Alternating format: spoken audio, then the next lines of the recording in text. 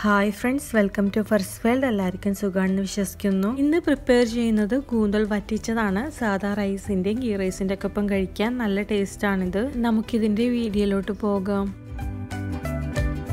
ഇതിനു വേണ്ടി ഒരു കിലോ കൂന്തൽ നന്നായി കഴുകി വൃത്തിയാക്കിയതിന് ശേഷം റൗണ്ട് ഷേപ്പായിട്ട് കട്ട് ചെയ്തെടുത്തിട്ടുണ്ട്. റൗണ്ട് ഷേപ്പായിട്ട് തന്നെ കട്ട് ചെയ്യണമെന്നില്ല. സ്ക്വയർ ഷേപ്പിലോ നിങ്ങൾക്ക് ഇഷ്ടമുള്ള പോലെയോ കട്ട് ചെയ്തെടുക്കാം. കുക്കറിൽ കൂന്തലിട്ടതിന് ശേഷം കാൽ ടേബിൾ സ്പൂൺ മഞ്ഞൾപ്പൊടിയും ആവശ്യത്തിനുള്ള ഉപ്പും ഇട്ട് കൊടുക്കാം.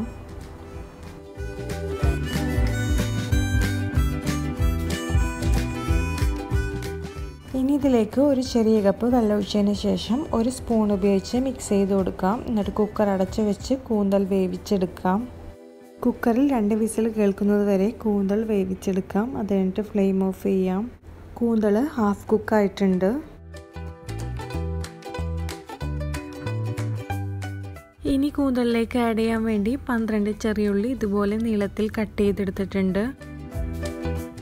പിന്നെ ഒരു തക്കാളിയുടെ പകുതി കട്ട് ചെയ്തെടുത്തിട്ടുണ്ട്. രണ്ട് പച്ചമുളക് ചെറുതായി കട്ട് ചെയ്തെടുത്തിട്ടുണ്ട്. ഒരു മീഡിയം സൈസ് സവാളയുടെ പകുതി നീളത്തിൽ കട്ട് ചെയ്തെടുത്തിട്ടുണ്ട്. പിന്നെ ഒരു തേങ്ങയുടെ പകുതിയോളം ചിരകിയത് എടുത്തിട്ടുണ്ട്. ഇനി തേങ്ങ മിക്സിയുടെ ജാറിലേക്കിട്ട് ആവശ്യത്തിനുള്ള വെള്ളം ഒഴിച്ച് തേങ്ങാപ്പാൽ അടിച്ചെടുക്കാം. നേരത്തെ കുക്ക് ചെയ്ത് വെച്ച കൂന്തളും ഒരു മൺചട്ടിയിലോട്ട് മാറ്റാം. ഇനി അതിലേക്ക് ഉള്ളിയും തക്കാളിയും ഇട്ട് കൊടുക്കാം.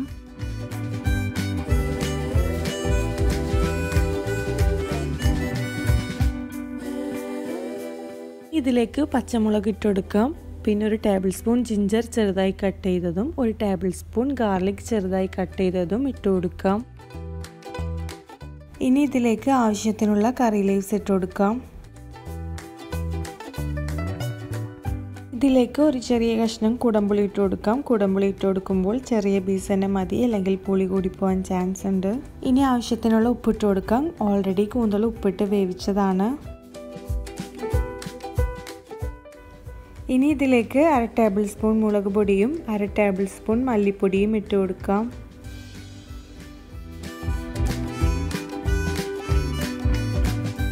ഇതിലേക്ക് മൂന്ന് ടേബിൾ സ്പൂൺ കോക്കനട്ട് ഓയിൽ ഒഴിച്ച് നന്നായി മിക്സ് ചെയ്ത് കൊടുക്കാം. കോക്കനട്ട് ഓയിൽ തന്നെ യൂസ് ചെയ്ത് ചെയ്യാൻ നോക്കുക അതായിരിക്കും കൂടുതൽ ടേസ്റ്റ്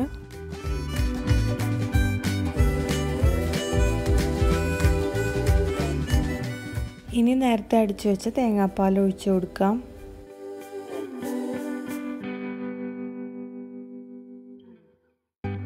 ഒരു ചെറിയ നൂറ് ഗ്രാമിന്റെ കപ്പിന്റെ അളവിൽ നേരത്തെ കൂന്തൽ വേവിച്ചു വെച്ച് വെള്ളം ഒഴിച്ചു കൊടുക്കാം. ഇനി ഇതെല്ലാം നന്നായി മിക്സ് ചെയ്തതിന് ശേഷം കൂന്തൽ നമുക്ക് വേവിക്കാൻ വെക്കാം. മീഡിയം ഫ്ലെയിമിലിട്ടിട്ട് അടച്ചു വെച്ച് കൂന്തൽ വേവിച്ചെടുക്കാം.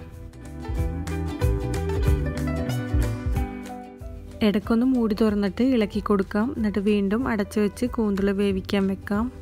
കൂന്തൽ കുക്കായി വന്നിട്ടുണ്ട്. ഇനി നമുക്ക് തുറന്ന് വെച്ചിട്ട് വറ്റിച്ചെടുക്കാം. തേങ്ങാപ്പാൽ കംപ്ലീറ്റ് ആയിട്ട് വറ്റിച്ചെടുക്കണം. കൂന്തൽ അത്രയും നേരം തേങ്ങാപ്പാലിൽ കിടന്ന് വറ്റി വരുമ്പോൾ നല്ല ടേസ്റ്റ് ആയിരിക്കുള്ളൂ കഴിക്കാൻ. തേങ്ങാപ്പാൽ കംപ്ലീറ്റ് ആയിട്ട് വറ്റി വന്നിട്ടുണ്ട്. ഇനി ഒരു പാനിലേക്ക് ആറ് ടേബിൾ സ്പൂൺ കോക്കനട്ട് ഓയിൽ ഒഴിച്ചു കൊടുക്കാം. ഇതിലേക്ക് നേരത്തെ കട്ട് ചെയ്ത് വെച്ച സവാളയുടെ പകുതി ഇട്ടിട്ട് വഴറ്റി കൊടുക്കാം. സവാളയിലേക്ക് ആവശ്യത്തിനുള്ള കറി ലീവ്സ് ഉപ്പ് ഇട്ട് കൊടുക്കുക. നമ്മൾ നേരത്തെ കൂന്തൽ ഉപ്പ് ആഡ് ചെയ്താണ് അതുകൊണ്ട് തന്നെ വളരെ കുറച്ച് ഉപ്പ് മാത്രം ആഡ് ചെയ്താൽ മതിയാകും. ഇതിലേക്ക് കാൽ ടീസ്പൂൺ മഞ്ഞൾപ്പൊടി ചേർത്തിട്ട് ഇതിന്റെ പച്ചമണം മാറുന്നത് വരെ ഇളക്കി കൊടുക്കാം.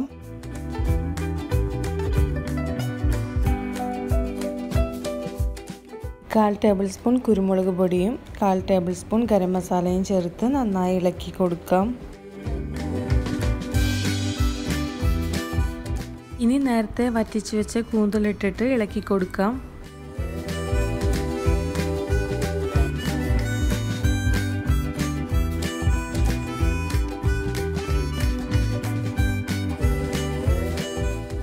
ഇനി കൂന്തൽ അഞ്ച് മിനിറ്റ് അടച്ചു വെച്ച് കുക്ക് ചെയ്തെടുക്കാം. കൂന്തൽ വറ്റിച്ചത് റെഡി ആയിട്ടുണ്ട്. നല്ല ടേസ്റ്റാണ് കഴിക്കാൻ. എല്ലാവരും ഒന്ന് ട്രൈ ചെയ്ത് നോക്കിയിട്ട് നിങ്ങളുടെ വിലയേറിയ അഭിപ്രായം താഴെ കമന്റ് ചെയ്യുക. ഈ ചാനൽ ഇതുവരെ സബ്സ്ക്രൈബ് ചെയ്തിട്ടില്ലെങ്കിൽ സബ്സ്ക്രൈബ് ചെയ്യുക. കൂടെയുള്ള ബെല്ലൈക്കൺ കൂടി അമർത്തുക. എങ്കിലേ പുതിയ വീഡിയോയുടെ നോട്ടിഫിക്കേഷൻ നിങ്ങൾക്ക് ലഭിക്കുള്ളൂ. ഈ വീഡിയോ ഇഷ്ടപ്പെട്ടെങ്കിൽ ലൈക്കും ഷെയറും ചെയ്യുക. അടുത്ത വീഡിയോ ആയിട്ട് വീണ്ടും കാണാം. താങ്ക്